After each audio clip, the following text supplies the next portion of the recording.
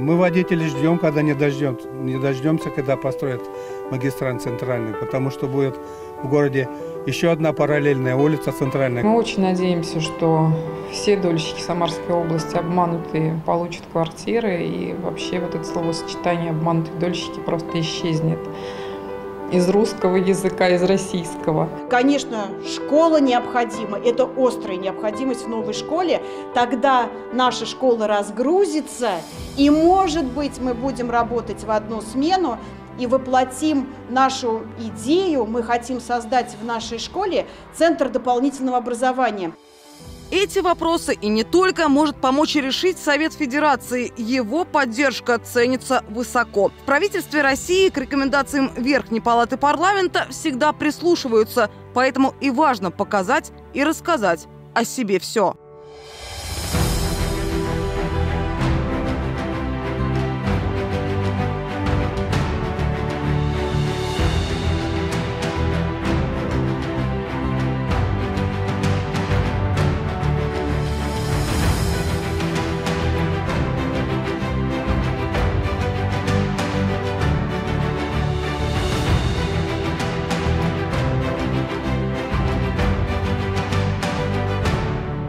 Последние приготовления перед приходом гостей в Совете Федерации проходят дни Самарской области. Здесь уже вполне себе уютно чувствуют космонавты, Волжский народный хор, известный баянист Сергей Войтенко. На выставке представлено много из того, чем гордится регион. Как скажет после Валентина Матвиенко, экспозиция показала, что Самарская область смотрит в будущее. Вообще Самарская область промышленно развитый э, регион. Мы э, входим в десятку крупнейших промышленно развитых регионов Российской Федерации. В Приволжском федеральном округе занимаем 4-5 места по объему промышленного производства. У нас работает около 700 крупных средних промышленных предприятий, 6 тысяч предприятий малого бизнеса. Ну, конечно же, наша гордость и флагман нашей промышленности – это ракетостроение, прогресс и Кузнецов э, крупнейшие заводы. Автомобили строения, э, АвтоВАЗ. Впрочем, о Самарской области здесь знают хорошо. Дмитрий Азаров несколько лет работал сенатором и всегда лоббировал интересы региона. Например, программа «Комфортная городская среда». Изначально область в нее не попала. Лишь после переговоров удалось решить вопрос. На выставке демонстрируют возможности предприятий, рассказывают о нынешнем положении дел. Так, заводы космической отрасли обеспечены заказами на годы вперед. У «АвтоВАЗа» растут продажи. «Лада» сейчас марка номер один в России. Внимание приковывают и разработки Самарского медицинского университета. Вот, к примеру, стол пирогов. Уникальное оборудование для обучения врачей. Реализовано 80 столов по всей стране, СНГ, реализован полностью продукт, коммерческий продукт. Москва купила школы, колледжи, какой-то монитор.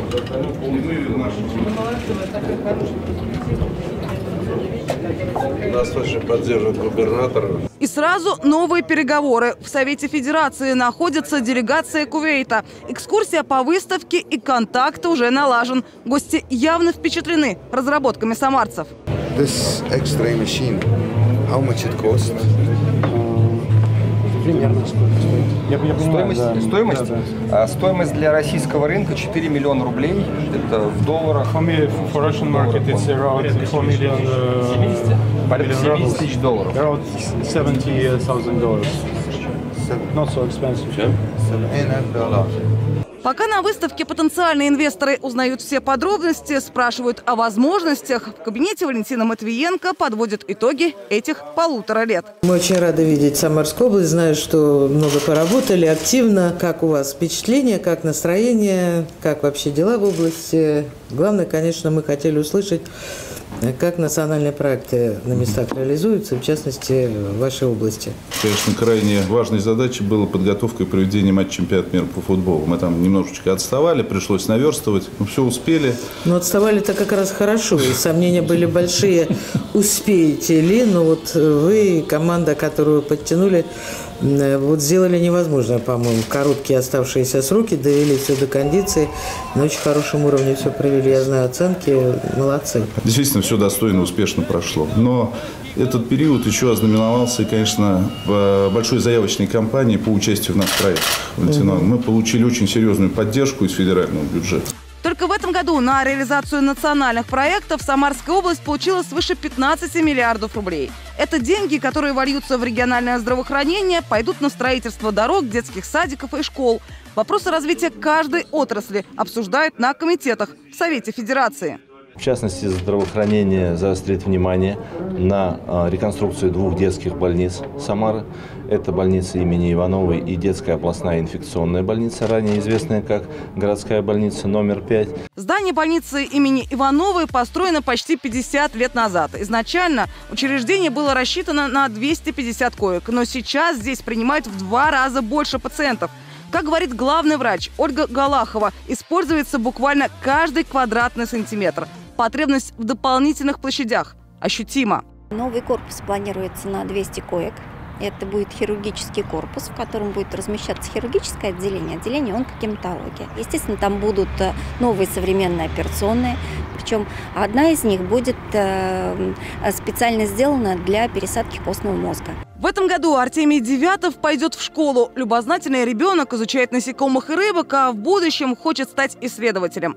Последние два года мальчик проходит курсы процедур в онкологическом отделении детской больницы имени Ивановой. Условия тесноватые, конечно, потому что э, болезнь наша требует э, индивидуального подхода, индивидуального лечения. В палатах по 4 от двух до четырех человек тесновато. При этом очень-очень квалифицированные врачи, весь медперсонал очень доброжелательный, очень человечный, что тоже немаловажно в нашем лечении. И вот они в таких условиях, э, им тяжело работать, ну и нам тоже лечиться затруднительно. В Совете Федерации инициативу о реконструкции больниц поддержали. В протоколе учтена и необходимость выделения денег на учреждение соцзащиты. Речь идет о проектах строительства корпусов в пенсионатах для инвалидов – Высокинском и Потаповском в следующем году, в Сызранском в обозримом будущем. Все они психоневрологического профиля. В регионе, прежде всего, губернатором региона Дмитрием Азаровым правильно очень расставляются акценты, работает команда, активно включились в реализацию приоритетных национальных проектов. Вместе с тем проведена глубокая инвентаризация по всем отраслям, прежде всего социальной сферы. Есть понимание о необходимости развития дальнейшей инфраструктуры, здравоохранения, социальной защиты населения. Безусловно, э, эти предложения войдут в проект постановления Совета Федерации. Сегодня на профильном комитете по социальной политике они были поддержаны. Делегация Самарской области смогла убедить и в необходимости строительства новых образовательных учреждений. Вопрос для региона весьма актуальный. Например, школа номер 7 в Крутых Ключах рассчитана на 1360 учеников. По факту же здесь занимаются в два раза больше.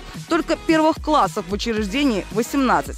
Непростая ситуация сейчас и в Новосемейкино. Одну из школ поселка закрыли в 2017 году. При планировании ремонта выяснилось, что состояние фундамента и перекрытия близко к аварийному. Здоровьем детей и педагогов рисковать не стали. Все они, а это почти 400 человек, перебрались в школу имени Зеленого, где сейчас занимаются в две смены. Подвоз начинается фактически с 7 утра в несколько потоков.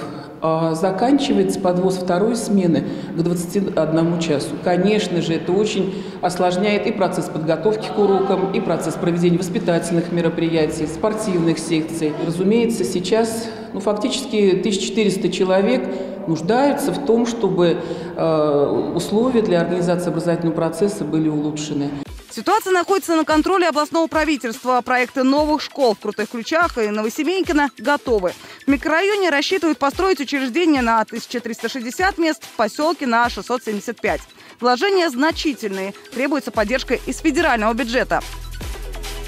На заседании Комитета по науке, образованию и культуре Совета Федерации Самарская делегация предложила включить строительство учреждений в проект «Современная школа» нацпроекта образования. Хорошо то, что почти в каждой строчке мы читаем софинансирование. То есть регион сам вкладывает. Есть средства ваши, и вы разумно делаете заход на э, поддержку федеральных этих средств. Кто за то, чтобы поддержать э, проект решения и по национальному проекту образования, и по национальному проекту культура с учетом высказанных замечаний. Прошу голосовать. Принимается единогласно.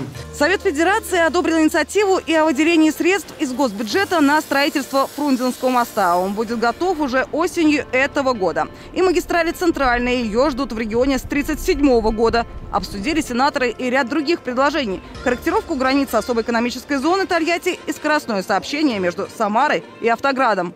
После обсуждения, после поддержки этого, этой инициативы со стороны Министерства экономического развития, Минтранса России, э, у нас есть уверенность, что проект также будет жить, и в ближайшее время между Самарой и Тольятти э, появится скоростное сообщение на новом подвижном составе, на ласточках, очень комфортных, очень удобных, и время перемещения между железнодорожным вокзалом Самары и центром Тольятти составит чуть больше часа. Конечно, это будет очень удобно людям. В течение трех дней проходили заседания профильных комитетов. На них детально разбирались вопросы самых разных отраслей. Решение проблем обманутых дольщиков, сельское хозяйство, экология. Делегация Самарской области рассказала обо всем. Важно, что наши усилия направлены на опережающее развитие региона, на повышение уровня благосостояния граждан Российской Федерации, проживающих на территории Самарской области, сегодня заметны и заметны за пределами Самарской области. Как вы видели, проект постановления сегодня Совет Федерации был принят единогласно по Самарской области. Я хочу еще раз поблагодарить своих уважаемых коллег, членов Совета Федерации, за такую единодушную поддержку, которую мы чувствовали и на заседаниях профильных комитетов. Реновация исторического центра Самары, ремонт значимых культурных объектов, таких как театр драмы имени Горького и Краеведческий музей имени Петра Лабина. Увеличение строительства, а значит и доступности жилья, улучшение материально-технической базы учебных заведений, возведение четырех новых школ в Самаре, Новосемейкино и Тольятти, строительство железнодорожной линии к особой экономической зоне. Во время Дней региона в Совете Федерации обсудили десятки вопросов. Естественно, очень много сделано уже командой, так скажем, Дмитрия Ильича Азарова. Э, пришел человек, вернулся в свой родной край, не чужой для Самарской области, прошедший хорошую школу мэра, получивший хорошую федеральную школу. Отсюда и подход уже, уже иной, масштабный, стратегический, умение решать вопросы. Мы приняли э, пока в первом рассмотрении за основу э, проект постановления Совета Федерации – где учтены пожелания э, губернатора, председателя Самарской губернской думы, в чем нужна поддержка федерального центра. Э, мы его доработаем и возьмем это постановление на жесткий контроль. Уверена, что те меры, которые будут прописаны там, безусловно, будут исполнены. Такое бывает редко. Ни один из пунктов постановления не был исключен. Все, о чем просили, то и получим. В течение месяца решение будет сформулировано документально и отправлено в правительство Российской Федерации. Первые дивиденды регион получит уже в ближайшее время.